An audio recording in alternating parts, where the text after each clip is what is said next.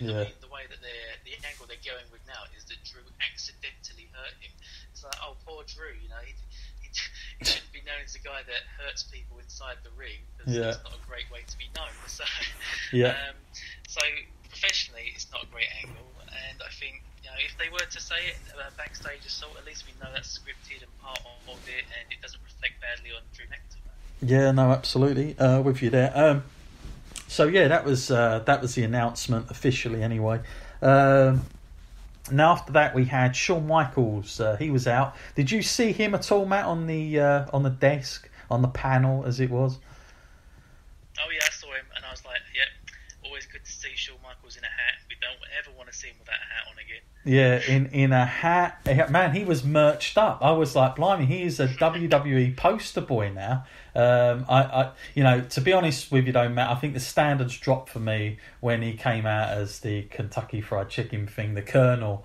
Um, that was it for me. But then I'm seeing Shawn Michaels. He's got the the NXT UK stuff. He's got the hat for NXT. So I'm like, blimey, this is a this is like Triple H's poster boy here now. So um, that was interesting. And of course, he announces Matt that uh, of course next week is the Super Bowl.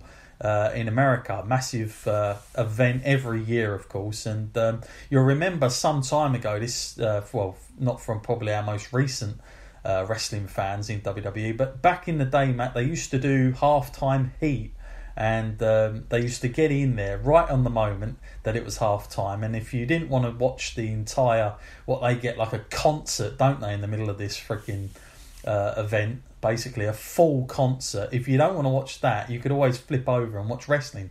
And uh, it's actually a very good idea back in the day. I remember they had Mankind versus The Rock. I don't know if you remember that, Matt, in uh, I think it was Yeah, 99, I think it was, and it was like an empty arena match. So obviously they got to pre-tape it, and nothing really got out. Like nobody gave the results away because you know they only had a certain amount of people in there.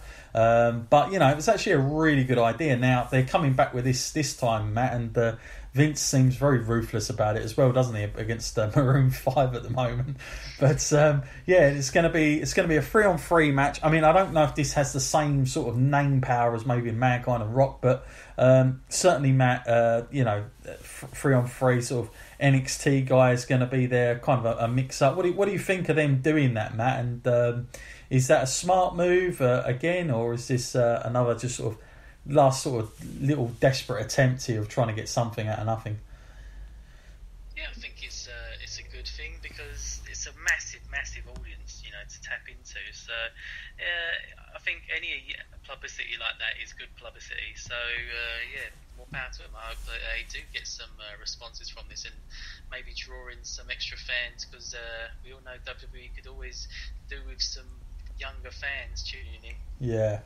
Uh, no doubt about that. Um, okay, so uh, last but not least on the pre-show worth of matches, we get a fatal four-way match um, for the cruiserweight title, also the 205. So uh, Buddy Murphy up against um, they had they Itami, they had um, Kalisto, and of course you know I mean this was I've got in my notes here, Matt, that this was this should have for me this should have been on the main show. What do you think, Matt? Because I was really impressed with this. I actually thought this was really good, um, but I was just a bit gutted that they didn't get to showcase their stuff on the main show. And um, I, you know, we'll get into it later, but I do think there was one match in that show that I did feel was a little bit out of place, and this this would have been kind of somewhat perfect to get the fans back up again after sort of.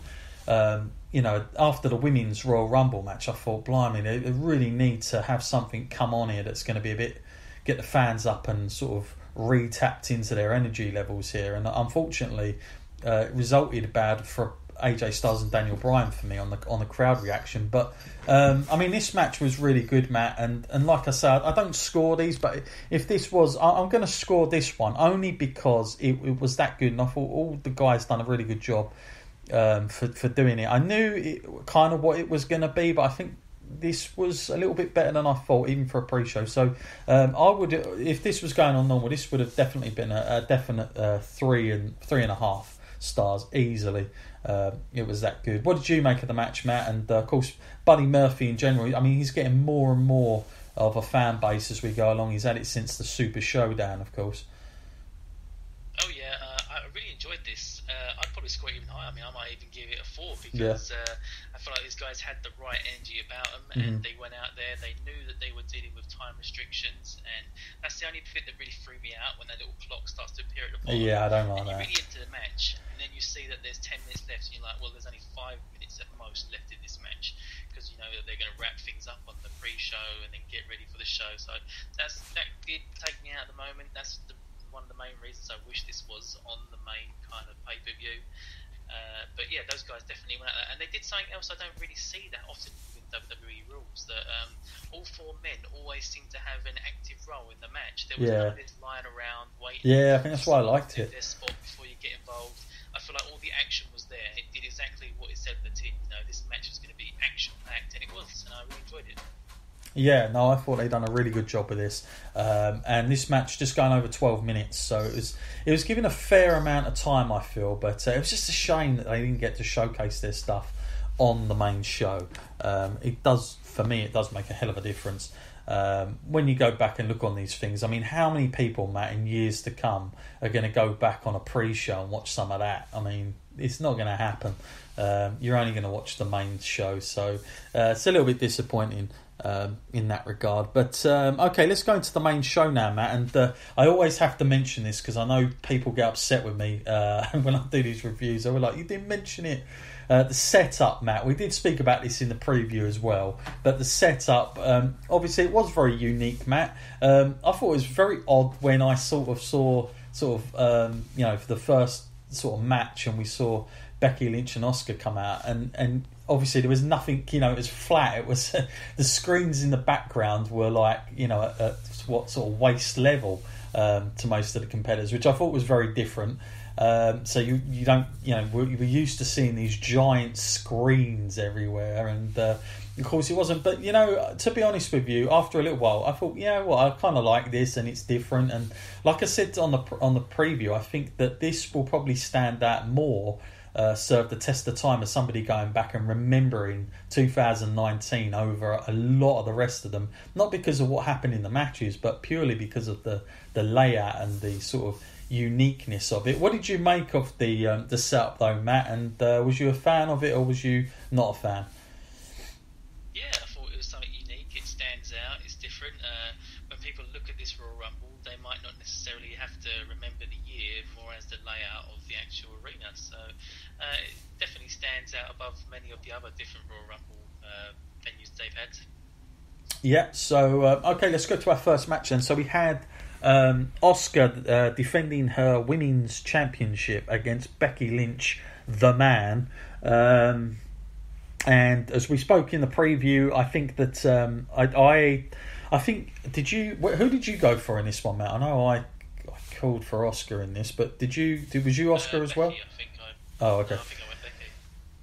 Yeah, I, I kind of, you know, I said yesterday I was like a massive proponent of, you know, somebody uh, chasing rather than catching. Uh, and uh, but I, I got to be honest with you. Although I said that, I do slightly want to go back on what I said just a little bit here. Um, when I meant that, I, I didn't think that meant she was going to tap um, like kind of clean. So that that surprised me out of the whole thing here because although I want somebody to chase him like Stone Cold Steve Austin did, uh, I don't remember him tapping out and doing these sort of things. Um, is this uh, to me? It sort of signified the era that we're in with the 50-50. Like we'll give you this, but you'll get that later, kind of thing. Um, and yeah, sometimes when you look at the most over people in WWE they actually are staying 100% one way. They're not giving or they're not having to sort of give anything up for it, and uh, they're the most over.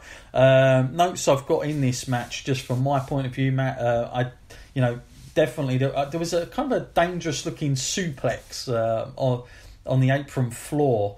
Um, I thought by used by Asuka uh, at the beginning. I put him in my notes, but um, you know, for the most part, I kind of enjoyed this match. I was kind of I was it was interesting they put these out first, Matt. These two, but um, I was quite glad they did. To be honest with you, I, I, was at first when I heard Becky's music, I was like, really already?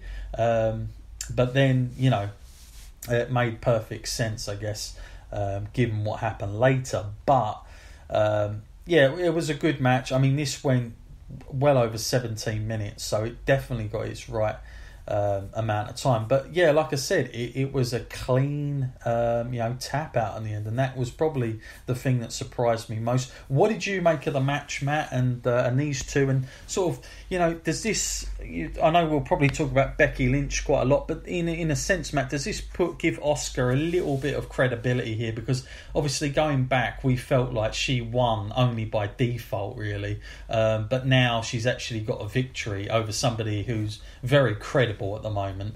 Um, does this help Asuka going forward, Matt? Is this like sort of value gone up a little bit on her now? Uh, yeah, I think it really has. Uh, I think it's the best work I've seen from Asuka in a long time now, or mm-hmm. since WrestleMania at mm-hmm. least. Um, maybe she's finally getting back on track. Mm-hmm. Uh, it's good to see this though because I think she was so underutilized up to this point that coming into this match, a lot of people even though she went on that massive undefeated streak, with people coming into this thinking that Asuka was the underdog, that, mm. she, that she might not really stand much of a chance in fight, uh, a fight with Becky Lynch. And uh, I feel that's just some terrible booking. It's a waste of Asuka almost. So uh, yeah, I feel like the way that they booked this one is kind of like they're trying to make two big stars at the same time. Not sure whether that necessarily does translate in the long run because, as we will find out later, you know people are going to WrestleMania, and like you said, 50-50 booking. Do you really want someone to travel to WrestleMania on the back of that? Uh, well, who knows? But um, yeah, I feel like this was a solid match. I did enjoy it, and like you said, that suplex did look pretty nasty. I couldn't quite work out what she was trying to go for there because it didn't really turn into anything. But I noticed straight away afterwards, Becky was saying yes to the ref, like I'm still alive. yeah, yeah, it felt like it, didn't it? Um, yeah, but you know, like I say, I, I think overall, this was a great match. I'm going to give this um, a solid uh, three and a half here. I might just, I, I was almost giving it a four, but um, three and a half for me. I mean, you know, I'm probably sounding a bit hard going here, but uh, I think this year I'm going to be a little bit more. Uh, I'm going to probably be a little bit more tougher to get sort of into the five mark for me and 4.5, that type of thing. So, three and a half for me. Um, I, I enjoyed it. I think like I say, for me, when I score these things, just for everybody to know, because we all have our different opinions and it depends what you're looking for. But for me, I go on things like the story of it and also the match quality, of course, um, and of course the result. But um, yeah, I liked it. Nothing wrong with it at all. I thought this was a great start, but uh, it was just a little bit weird. Um, to see a claim, but really good for Asuka going forward, and uh, gives her some some real credibility now as a champion, which is really what she needed. I mean, she did not need, um, you know, a, a, defeat here. That's for sure. Um, in, in in any way, so that that was good for her. Matt, what do you give it uh, as far as uh, the out of five? Oh yeah, I think mm, I think yeah, I'll give it a three and a half as well. It was almost a four. It's just uh, I think it's a shame how the Rumble itself overshadows this kind of match. It kind of uh, diminished this match a little bit later on the, uh, the Yeah. Fair enough. Um, okay, next match up, we've got Mr. WrestleMania himself, uh, the new one, and uh, the wrestler of the greatest wrestler, uh, Shane O'Mac is back. He's with The Miz, and they challenged the bar, Sheamus and Cesaro. Um, wow. Um, I this is one time, Matt. I wished I would have been wrong. I wasn't wrong. I, I, I something went off in my head. Uh, I said it yesterday on the preview. I said, uh, you know, my my wrestles, my WWE senses are, are going wild, and I'm seeing them give the belts to them. Um, so yes, they they've gone the full hog with these two. Um, notes I've got about the match. I, I, I have to say I was a little bit taken out the fact that Shane they kind of kept him outside, and there was a lot of sort of beat down on the Miz. I kind of felt like it I don't know if this match really should have been on the card. Like I, I know it sounds like I'm probably just having a go because it's Shane, but um, it did feel a little bit out of place for me. I would have much rather have seen the cruiserweight match right here, um, but they could have had that on later or whatever. But um, I would have swapped this over. This for me, this was like a sort of one of those SmackDown main events that they could have had on maybe this week or the week after. This was that sort of vibe for me. I didn't. I didn't really, I don't know, I just wasn't drawn in by this. This doesn't get to me. I, I am a massive fan of The Miz. I've admitted that in the last couple of years. He's grown on me, but like this with Shane McMahon, I'm worried. Um, what did you make of the match, man?